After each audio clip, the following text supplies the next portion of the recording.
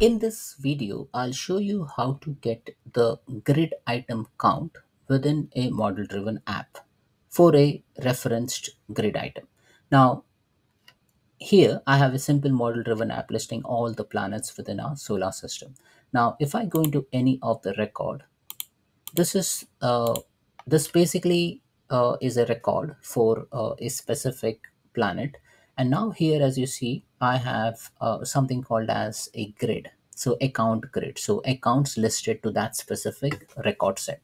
Now as you see over here this grid has 298 record. Now what if i want to extract this information 298 in order to do that, what we can do is uh, make use of JavaScript. Now, uh, before we go into the JavaScript details, uh, I have already created a JavaScript file named as um, JavaScript sample.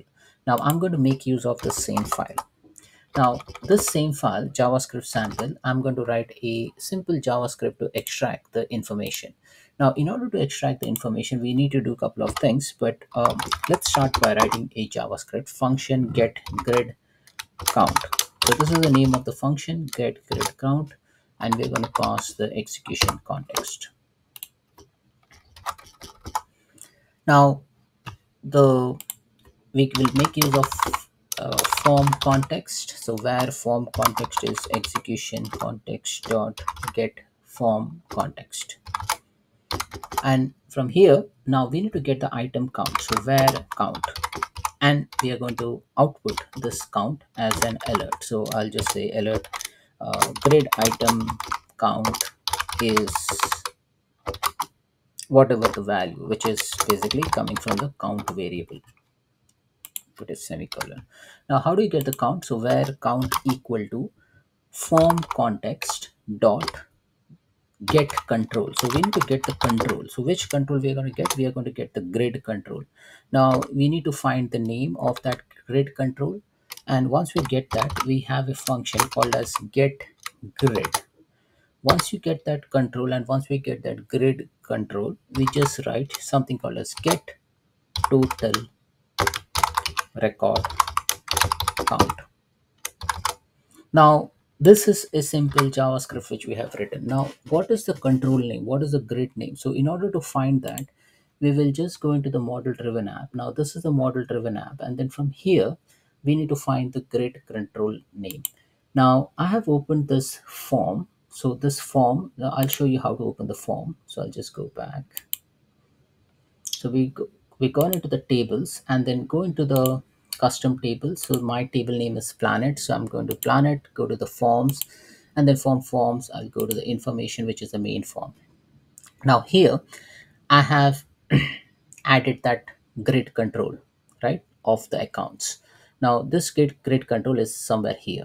So if I select this grid, grid control, you will see that this belongs to tab underscore general underscore account, but this is not the grid control if you again select within inside, this is the actual grid control and the name of the grid control is subgrid underscore accounts.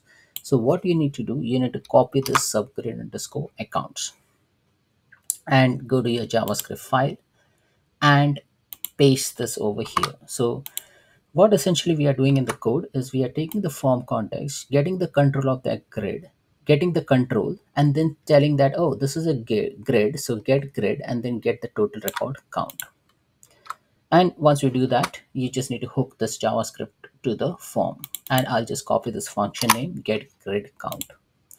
Now in my previous example i have used a lot of javascript in the load. So what i'm going to do i'm going to go into the general tab uh, so let me select the form basically. So this is the form and i have a couple of events from my previous example. I'll just remove this handlers.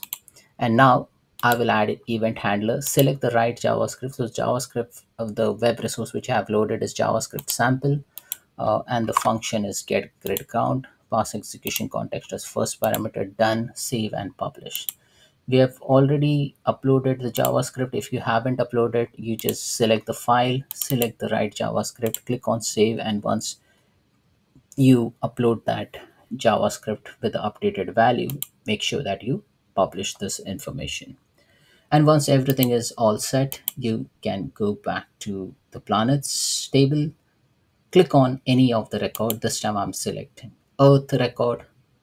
And as you see over here, it says grid item count is zero. Now, why this grid item count is zero is because this grid has been loaded very late compared to the form control. Now, in this model driven app, if you go into the the grid view and if you navigate into one of the record, the grid item count is zero because the the grid which is listed over here is loading way after the JavaScript has been executed. So in order to tackle this problem, what you can do is like you can introduce delay. So you can introduce the delay execution of the JavaScript until all the form gets form component gets loaded. Or alternatively, if your solution permits, then what you can do is like instead of going into the onload, onload of this particular form, you can just take this off and then you can put it in on save. So what happens like this is like once the person saves the form then you can uh, add this functions get grid, grid count and enable it and pass execution context as the first parameter and click on save and publish. So what happens like the form gets loaded completely and once the user saves then only the user should be able to see the record count. So if that is the case if that works for your logic then you can go ahead and uh, do that. So as you see over here i'm going inside the record uh, of one of the planet. So if i'm in neptune planet and if i click on save then you can see the grid count is loaded successfully. So it is 298 alternatively uh, if you want to just verify if i just uh, go ahead and delete couple of records then the record count is 296 so let it delete the record. So what i'm doing is like i'm deleting the record. I'm just making those changes. So it is now 296 if i click on save then the grid item count is 296 so that means post saving the javascript gets executed and then you are able to get the grid item count. So this is also one of the way through which you can get the grid item count. That's it folks. Thanks for watching